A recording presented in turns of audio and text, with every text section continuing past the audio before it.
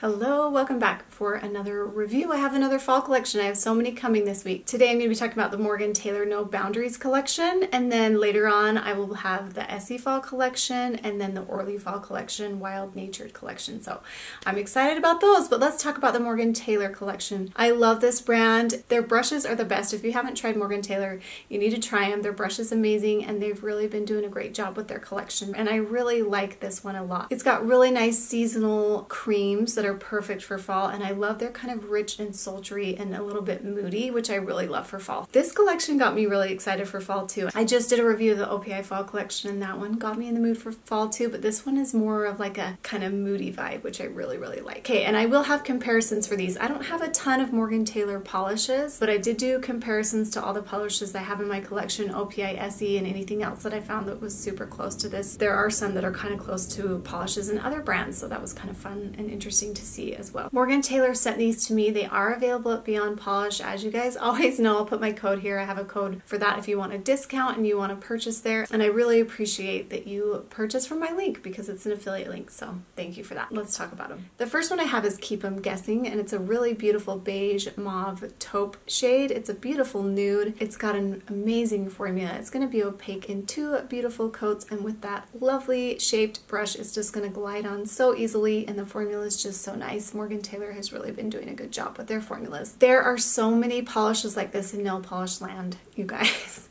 there really are, and I really love them all. This one has a little bit of a different variation. So the comparisons that I did are really just to kind of show you the different tones that you can have, even though they're very similar. So I just wanted to give you an idea of where it fit in those color tones. So I compared it to Chillin' with Jack, and that one's slightly more gray, and then Topeless Beach is more of like a purple brown and a little bit darker, I believe, and then Chinchilly was a little darker and a little more purple too, but I just wanted to give you that idea. So a lot of the ones that Essie has that are in this color family are a little bit more gray or more purple or a little bit more beige. And so I felt like this one kind of fit in between that. And OPI I feel like has a lot of these kind of shades that are more rosy and not as taupey, if that makes sense. So this one's a little bit different. It probably was closest to Chillin' with Jack um, as far as the Morgan Taylor line goes, at least that I have. That one's just a little bit more gray. So I really liked this one and I think I will reach for it in the fall. It's just nice to have a beautiful neutral if you're wearing dark, rich colors. So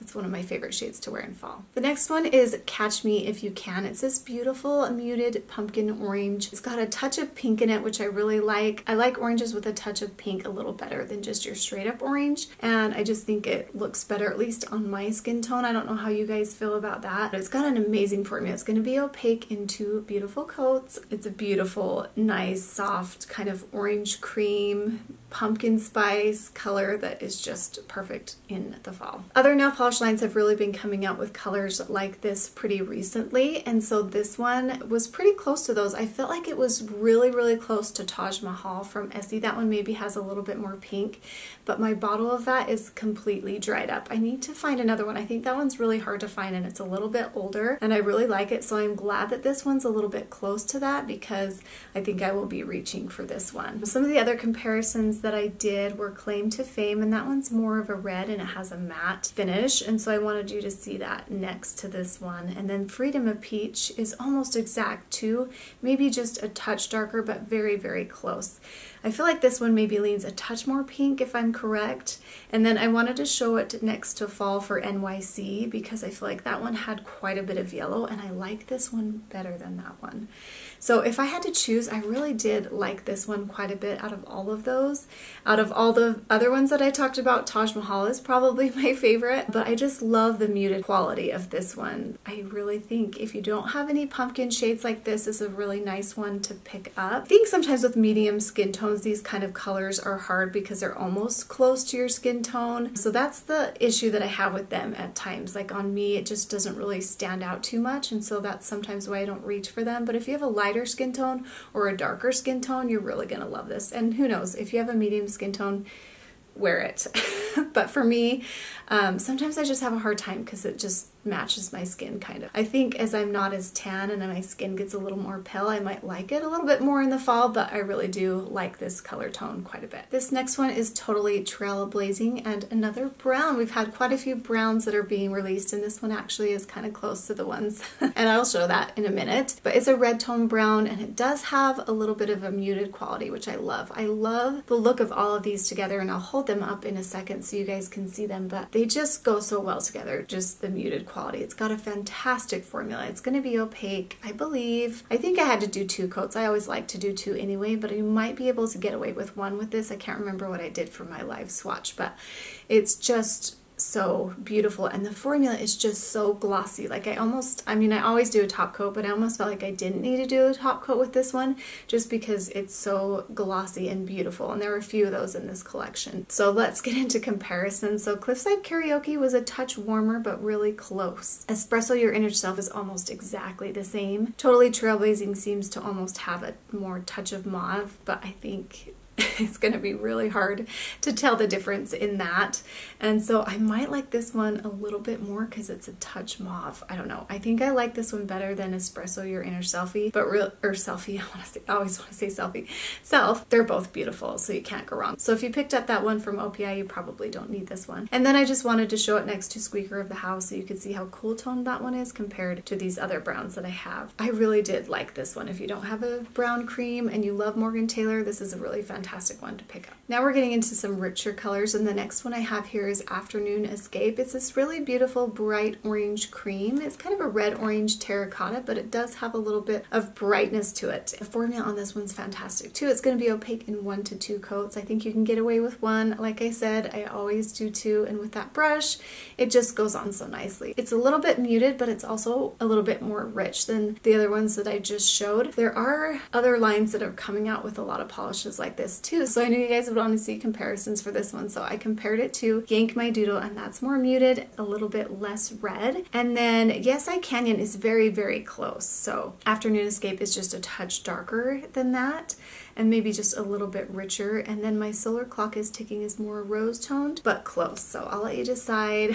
which one you like out of all those. They're all a little bit different um, but kind of close. I don't know. Sometimes it's hard with orange to get a really accurate picture, so hopefully you can see the differences of those in the picture. But it's a really beautiful one, and it really goes in cohesively with this collection. This next one is Uncharted Territory. This is like one of my favorite kind of shades to wear for fall. It's this beautiful kind of raisiny wine berry shade. It's just so beautiful. This one's a little bit muted too, and it's just it's so pretty. The formula is fantastic. It's going to be opaque in one to two coats and it just glides on so easily and it's just really rich and beautiful and that's really what I love about fall polishes are is they're just they just go on so rich and vibrant and I think it's kind of fun after you're having all those bright summer colors to just have some deep rich colors. Okay so let's talk about the comparisons for this one. I compared it to Como Se Llama. That is one of my favorite OPI polishes for fall. It's really beautiful. That one seems to have a little bit more orange in it, but it's very, very close. And then we have Orly Red Rock. I really love that Orly collection.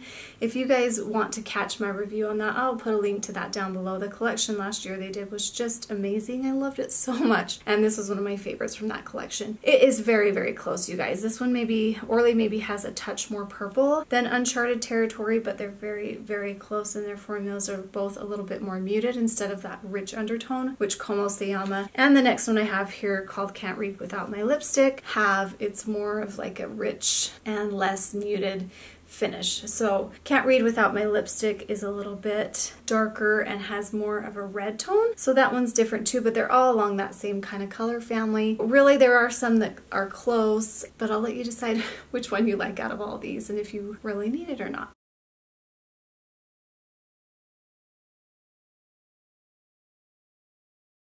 This last one is Laying Low and it's this beautiful, very dark, very rich navy blue. And it has a little bit of a brightness to it which makes the blue stand out and show up just a little bit so it doesn't look really deep and dark and almost black, which I really, really like. And I will say with all these darker colors, you're probably going to want to wear a base coat with these. I don't tend to have a lot of issues with staining. I know people ask me about that a lot, but anytime you have darker colors, you're going to want to wear a base coat for sure just to kind of prevent that. As far far as just removing these, I didn't notice a ton of staining, maybe a little bit. You're always going to get that with really inky, inky blues like this one, so just keep that in mind. But I really love this navy blue.